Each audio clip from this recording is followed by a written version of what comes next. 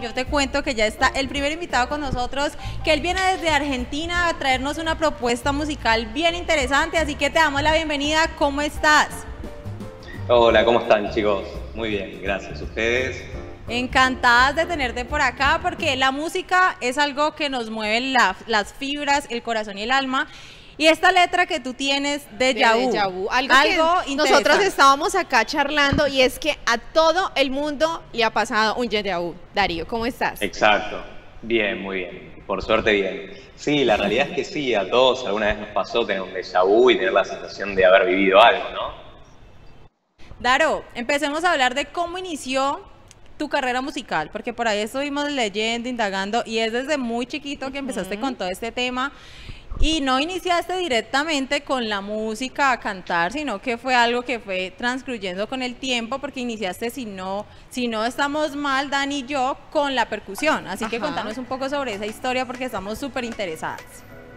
Exacto, sí, sí. Empecé tocando percusión de muy chico. A los cinco años hice mi primer taller de percusión.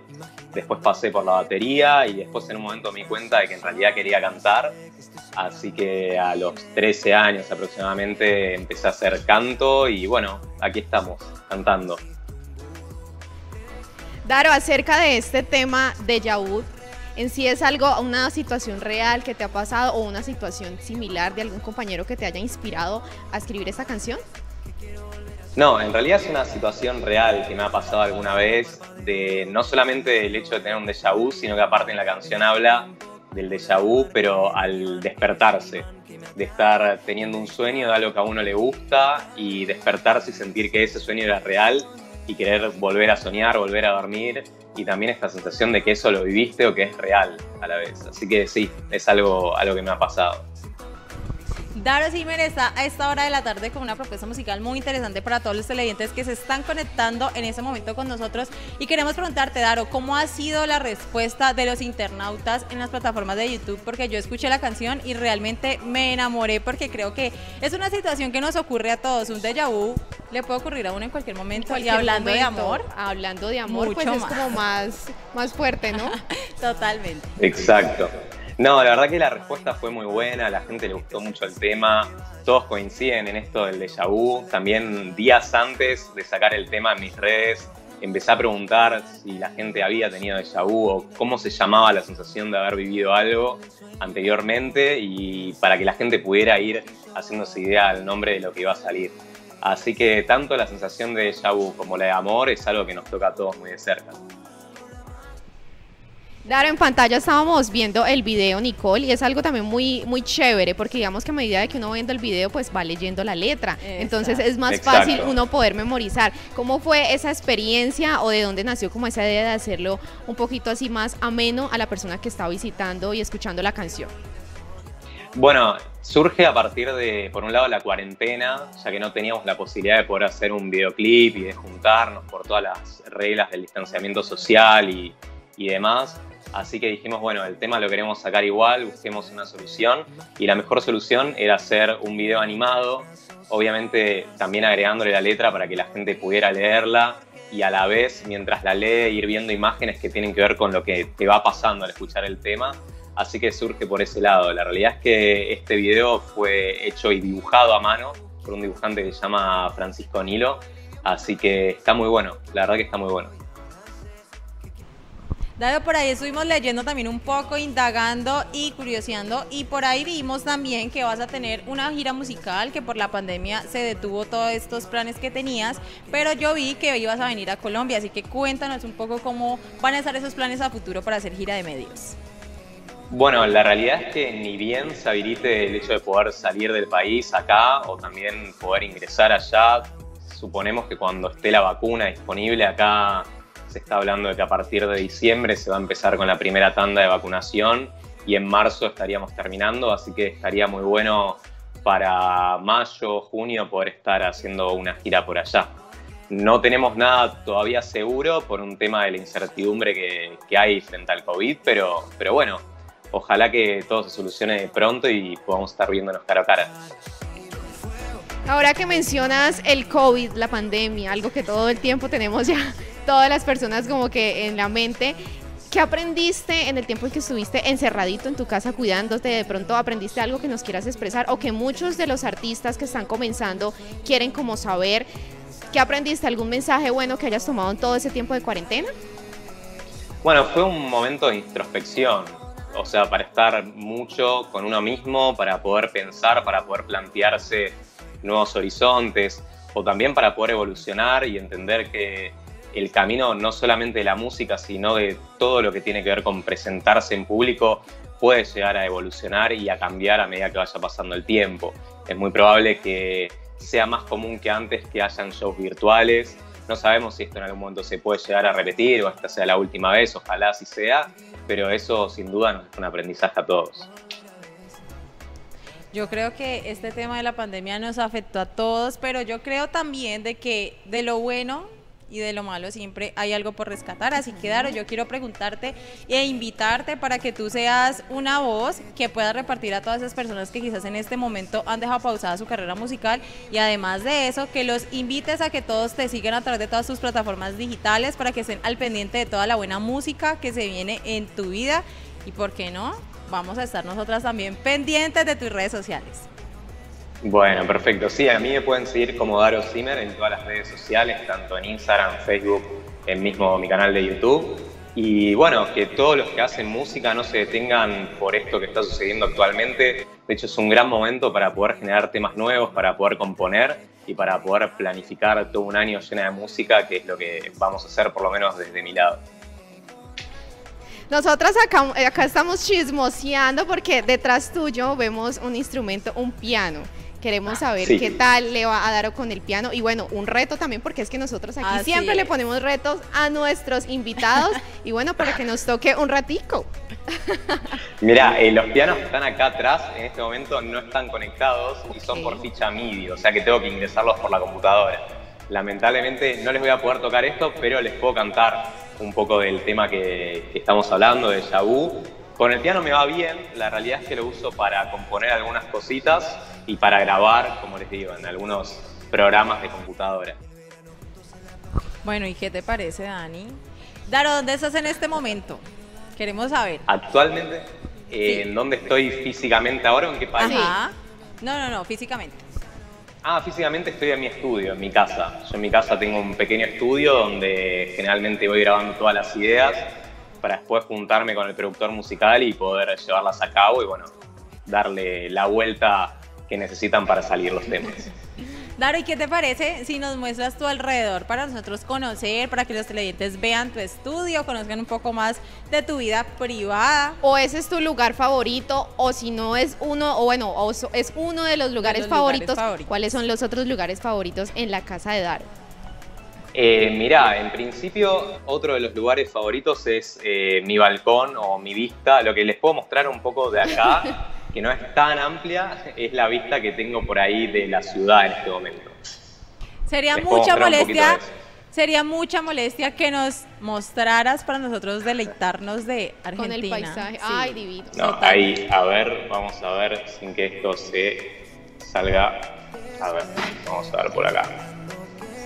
Aquí todos los. Bueno, como para que puedan ver un poco, esto es la vista que tengo desde desde mi estudio. Del otro lado, bueno, tenemos un balcón donde se puede ir a tomar sol. Por allá se ve una pequeña pileta. Bueno, por acá parlantes y demás, y demás cosas tenemos por este lugar. Está precioso. ¿Qué tal está el clima? Te contamos que acá en Cali está haciendo un calorcito que nos digamos que normalmente se hace acá en Cali, pero ¿cómo está el clima por allá? ¿Cómo está el ambiente? En este momento súper caluroso, la verdad que ahora deben ser unos 35 grados aproximadamente, así que sí, ya estamos eh, ingresando a poquito al verano. Bueno, yo creo que ya para ir finalizando con esta entrevista y con todo lo que nos has hablado, Daro, de tu carrera musical, de tu nueva propuesta que es de Yahoo, quiero preguntarte si nos puedes regalar el corito de la canción para irnos despidiendo. Sí, cómo no. ¿Quieren se los cante con pista? Como para que tenga un poco más de empuje. Como quieras, como te sientas más cómodo. Bueno, vamos a capela, entonces. Este sueño se va de vu, siento que me hiciste un budo, me dejaste con la inquietud. Si esto no es real, dime tú, quiere no quiero, pero me desespero, el idioma no besos. Es lo que quiero y ahora sé que quiero volver a soñar. Porque te quiero besar Divino. bravo, bravo, bravo, bravo. Nos encanta la buena música y además de eso la buena energía que tiene la gente cuando viene aquí a las puertas del Canal 2 y el Magazine. Daro, te mandamos un abrazo enorme, muchos éxitos de ahora en adelante. Esperamos que muy pronto podamos verte por acá. Ay, sí, para que hablemos de todo. Y bueno, las puertas están abiertas, por supuesto, para que visites el Canal 2 y hablemos un poquito más. Hasta aquí, Daro. muchísimas gracias, a ti. y muy buen año besos. Ahí teníamos un invitado especial, mi Dani. Por ahora vamos a ir con un video recomendado de nuestro artista musical, hoy jueves, aquí en Guía Magazine. Y a esta hora de la tarde traemos otro invitado musical muy importante, así que mi Dani, vamos a darle la bienvenida. Hola Alessandro, ¿cómo estás? Bienvenido a las cámaras de Guía Magazine. Es un placer para nosotras hoy jueves tenerte en las cámaras del, Guía Magazine. ¿Cómo estás? No, yo encantado de estar con ustedes, chicas. Muy, muy feliz de poder pues, traerles mi música y, todo lo que estamos haciendo. Bueno, Alexandro, vamos a hablar un poquito sobre cómo inició todo el tema de esta carrera musical tuya, porque estuvimos observando el video de trigonometría, un video bien interesante, bien sacado de lo común, una letra también bien, bien interesante, así que queremos preguntarte ¿Cuándo nació esta propuesta musical? Porque por ahí estuvimos leyendo que fue por todo el tema de las clases virtuales que se presentaron, así que contanos un poco. Sí, sí, la historia de trigonometría es muy divertida porque así como ven el video que es una clase virtual de trigonometría, la inspiración de esta canción nació de, del colegio, de que yo estaba en décimo grado, hace como un año y medio, un poquito más. Mi profesor de trigonometría fue el que me dijo, Alessandro, venga, hágame una canción de trigonometría y yo miro a ver cómo le subo unos puntitos. Entonces yo me puse muy feliz, empecé a componerla. Al comienzo no era esto que ves en este momento, pero fue evolucionando y pues ya salió. Trigonometría, una materia que le cuento que, uy, de tan solo escucharla me genera como cierta confusión. Pero bueno, Alessandro, solamente hablemos ya del tema eh, colegial tuyo. Me, me, surge esa idea, ¿sabe? ¿Cómo le iban las otras materias a Alessandro? No, a mí me iba bien en el colegio, solamente que pues yo no voy a decir cómo iba en trigonometría porque por algo el profesor me dio unos punticos extra por esa canción. Vea, una buena estrategia. Así Bueno, Alexandro, hablemos un poco sobre cómo ha sido la respuesta de las personas con este nuevo video musical que se presentó este año, lo estuvimos observando y ahorita vamos a hablar un poco también de cómo fue todo el proceso de esas tomas, porque ahí hay muchos artistas, muchos actores que yo vi por ahí, por ahí vi varias imágenes, así que contanos un poco cómo ha sido la respuesta. Claro que sí, a la gente le ha gustado muchísimo este tema. Es que es un tema, lo que tú dices, muy fuera de lo común, pero con lo que muchos se relacionan, así sea para bien o para mal, porque todos tuvimos o todos vamos a tener que ver trigonometría. Y entonces yo suelo decirle a la gente cuando les presento mi canción que con esta canción, aunque no les gustaba la trigonometría, ahora sí les va a empezar a gustar, porque es una forma diferente de verla. Cuando yo la estaba componiendo, yo quería que no fuera tan literal para describir como tal las matemáticas, sino que quería usar esas matemáticas, mezclarlas con el reggaetón para crear una canción bonita, una canción que se pudiera dedicar, pero que al mismo tiempo tuviera pues todo lo pegajoso y el sentido urbano. Y así fue como salió la canción, entonces a la gente le ha gustado mucho esta idea y ya en YouTube pasamos el millón de visitas y ahí vamos con toda. Como lo mencionaba Nicole, varias imágenes y varios actores y actrices ahí en el, en el video. ¿Cómo fue esa experiencia? Porque estuviste ahí hacer un video tan didáctico. De pronto detrás de cámara hubo algunas, algunos momentos que te causaron mucha gracia, que nos quieras contar. No, sí, eso fue toda una historia. De por sí, como estábamos en la cuarentena, tocaba tener todos los protocolos de seguridad. Curioso, dato curioso del video es que todo se grabó en mi casa. Solamente que el productor, el director del video, William Barragán, y el equipo de efectos especiales de Visual Music Effects eh, se encargaron de que cada ambiente se viera diferente. Entonces, eso lo hizo muy genial, muy divertido. Me encontré con todos los actores y las actrices que ven ahí, que son artistas también muy reconocidos de nuestro país porque han salido en muchas telenovelas, en muchas series. Y pues ahí estuvimos con ellos, les dimos arroz con pollo y almuerzo. y así. Alexandro, ¿cómo fue todo el tema de grabar el video? Porque como bien lo decías, fue un video que salió y surgió de una materia, pero también fue este año que se lanzó, así que quiero preguntarte, en medio de la pandemia, ¿cómo hiciste para generar y recrear este video, como bien lo decía mi compañera, tan didáctico y tan fuera de lo común? Pues comenzó con la idea del, con la idea del video, porque nosotros cuando estábamos con mi papá nos imaginábamos cómo puede ser el video de esta canción y queríamos que así como la mayoría de la gente, por ejemplo mi hermanita en este momento que nosotros estamos aquí hablando, ella está en clases virtuales en el colegio todavía, todavía no ha terminado su horario, entonces es una realidad que nos está pasando a muchas personas, así como estamos nosotros aquí por la distancia, nos toca es vernos por, por plataformas digitales para poder hablar entre nosotros y así mismo las clases, entonces por eso queríamos hacer un video que fuera diferente, pero que pudiéramos hacer que la gente se sintiera relacionada por la situación que estaba pasando. Y así fue como salió el video de trigonometría, lo que te digo, con todas las medidas de seguridad y todo, pero se sacó un video muy divertido. Así es, también es importante eso, ¿no? Que las personas se identifiquen con el video, lo empiecen a compartir, mira, a mí me pasaba esto con esta materia, y le empiecen, como tú lo mencionas, a gustar más la materia, porque eso se ve más o menos por ahí en décimo once, que es tenaz para muchos, pero con este video va a cambiar el punto de vista. Hablemos de cómo fue esa inspiración o quién te inspiró, más bien, para empezar en tu proceso musical, en tu carrera musical. En cuanto a la carrera musical como tal, ya fue desde hace mucho tiempo, cuando yo tenía cuatro años empecé con el piano. Mis papás que siempre estuvieron apoyándome desde que era chiquitico y a los 11 años cuando quise agarrar por primera vez un instrumento que fuera diferente. Yo pedí en Navidad un instrumento que cuando yo subiera al escenario llamara mucho la atención. En ese momento no sabía exactamente cuál iba a llegar, pero de Navidad me llegó el saxofón y ese fue el instrumento que me acompañó a mí durante mucho tiempo. Con él logramos muchas cosas y él fue el que me empezó a, a sumergir en el mundo de la industria musical porque yo fui a un concurso mundial de talentos en Hollywood cuando tenía 13 años y fue el artista que más premios ganó y también fue a raíz de eso que hicimos nuestra primera producción y fue cuando comenzó la carrera musical de Alessandro. Oiga, pero Alessandro se ve demasiado joven. Quiero saber cuántos años tienes porque me interesa saber cómo una persona tan joven puede generar tantas vistas en YouTube porque nosotras estuvimos por ahí mirando y me parece que ha generado mucha relevancia tanto en los estudiantes como en los adultos porque el ritmo es muy bueno. Sí, ¿no? ¿Cuántos años me ponen? No, pongámosle unos 20 o qué? Sí, 19, 20. Pues suficientes para ustedes, chicos. Tengo 18 cumplí 18 en abril.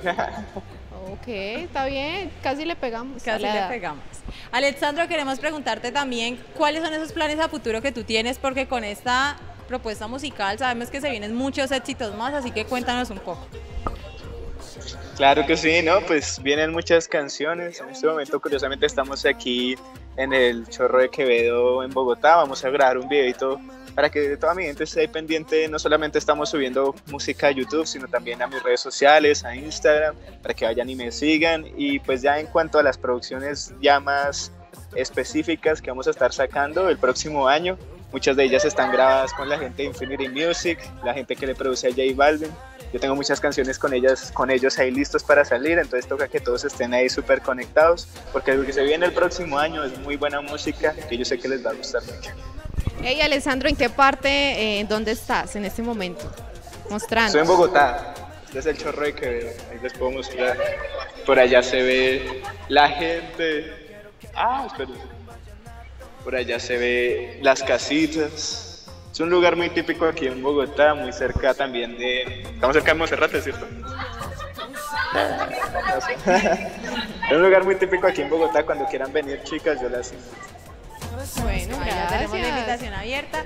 Y para terminar e ir finalizando con esta entrevista que nos ha generado tanta curiosidad, queremos preguntarte todas tus redes sociales para que todos estén pendientes de la buena música. Como bien lo decías, este 2021 viene recargado, así que danos todas tus redes para estar al pendiente. Claro, claro que sí, chicas. Pues ustedes también, yo veré. Y todos los que están aquí conectados me siguen en mis redes sociales como arroba alessandrodi-oficial. Pero recuerden que siempre es muy importante Alessandro con doble S porque si no, no me encuentro. Facebook Alessandro Di también y YouTube para que chequen toda mi música, pero sobre todo esta última canción de trigonometría, igual me encuentran como Alessandro Di. Bueno, Alessandro, gracias por esta gran entrevista, gracias por sacar de tu espacio y de tu tiempo para charlar un poquito. La invitación está abierta y bueno, vámonos de una para que todos los televidentes vean este video de trigonometría. Así Yo llevo mucho tiempo intentando, resolviendo, pero no lo encuentro. Ya dime linda cuál es